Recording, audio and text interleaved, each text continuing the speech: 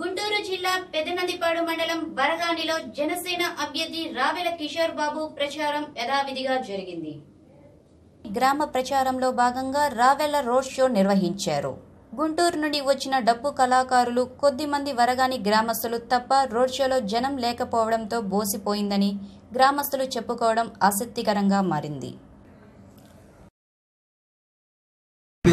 శ్రీ రావెల కిషోర్ బాబు గారు పోటీ చేయించున్నారు. బంగారు భవిష్యత్తు అందిస్తామని చెప్పేసి సందర్భంగా నేను తెలియజేస్తా ఉన్నా. స్త్రీలకు మూడు వేల నాలుగు వందల రూపాయలు నేరుగా వారి అకౌంట్లో వేస్తే వారికి కావలసినటువంటి పప్పు పప్పు బెల్లం బియ్యం ఇవన్నీ వంట సరుకులు కొనుక్కుని చక్కని వంటలు చేసుకోవచ్చు. ఇవాళ రేషన్ షాపులో అయితే ముక్కిపోయిన బియ్యం పనికిరాని కందిపప్పు పాడైపోయిన ఆయిల్ ఎంత గందరగోళం అంటే మొత్తం సామాన్లన్నీ కూడా వస్తువులన్నీ కూడా బ్లాక్ మార్కెట్కి తరలించేటువంటి ఆ వ్యవస్థను కూడా రద్దు చేయాల్సినటువంటి అవసరం ఉంది. ఉచితంగా వంట గ్యాస్ ఇచ్చేటువంటి కార్యక్రమాన్ని కూడా తీసుకున్నాం. రైతుల కోసం పెద్ద ఎత్తున ఒక ప్రత్యేక మేనిఫెస్టోను తయారు చేసింది మన జనసేన పార్టీ.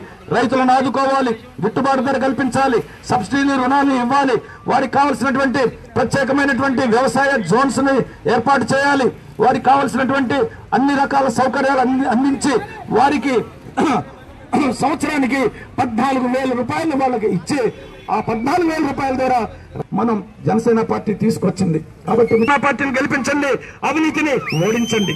జన మద్య మందుని ఓడించండి. డబ్బు మందుని ఓడించండి. మనసాక్షి ప్రకారం ఓటు వేయండి.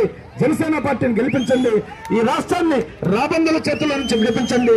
ఈ రాష్ట్రాన్ని అవినీతి పరుల కోతుల నుంచి విడిపించమని మీ అందరినీ కోరుకుంటూ ఇది వద్ద సెలవు తీసుకుంటున్నాను. గాజు గ్లాసు గుర్తును మాత్రం మర్చిపోవద్దు. గాజు గ్లాసు గుర్తుకు ఓటు వేయండి. జనసేన పార్టీని గెలిపించండి. అత్యధిక మెజారిటీతో మీ వద్ద సెలవు తీసుకుంటున్నా.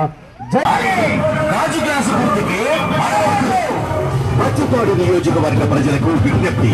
జనసేన పార్టీ ఎమ్మెల్యే అభ్యర్థిగా గాజు గ్లాసు గాజు గ్లాసు గాజు Shri Kamakshi care hospital church road Chirala cell nine triple zero eight zero eight one nine eight managing director Tadivalasa Devaraju MBA BL